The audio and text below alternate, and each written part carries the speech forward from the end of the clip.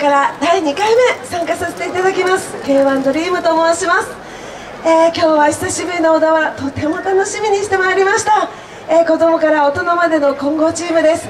どうぞ応援よろしくお願いいたしま